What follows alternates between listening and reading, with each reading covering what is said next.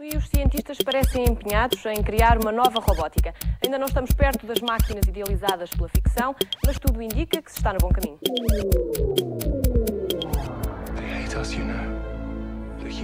David é o nome de um menino robô.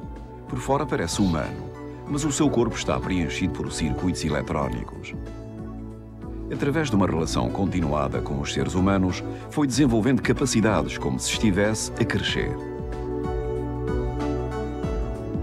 Esta é uma história de ficção, passada num futuro distante, que Steven Spielberg materializou num filme.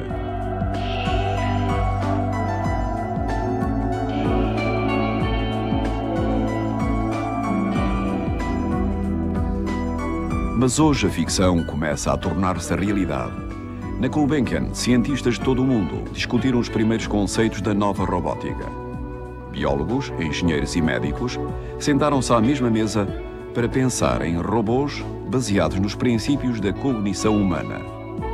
Há 15 ou 20 anos atrás eles eram mais, digamos, baseados na programação explícita, ao passo que agora as ideias centrais são as ideias de autonomia, são as ideias de, da própria evolução, reproduzindo de alguma maneira a evolução natural uh, e também da adaptação ao meio ambiente. Uh, e, portanto, caminhar no sentido de máquinas mais adaptativas.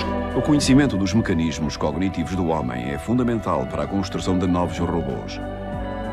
A inteligência artificial, conseguida através da programação informática, está a ser substituída pela vida artificial, que será a grande base de evolução dos novos autómatos.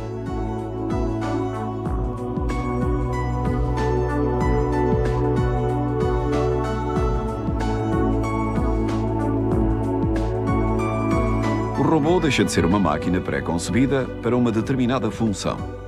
Na robótica moderna, ele deverá desenvolver-se através da interação com o meio que o rodeia.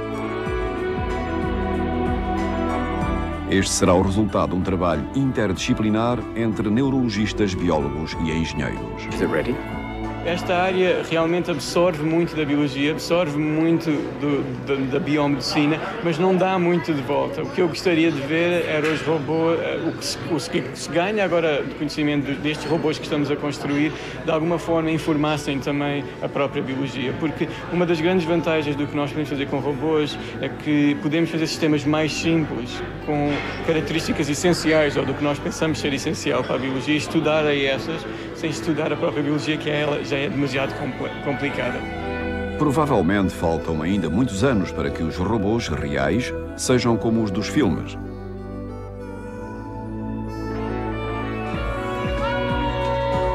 Mesmo assim, o caminho está aberto e os cientistas acreditam que este pode ser o primeiro passo de uma revolução mundial na robótica.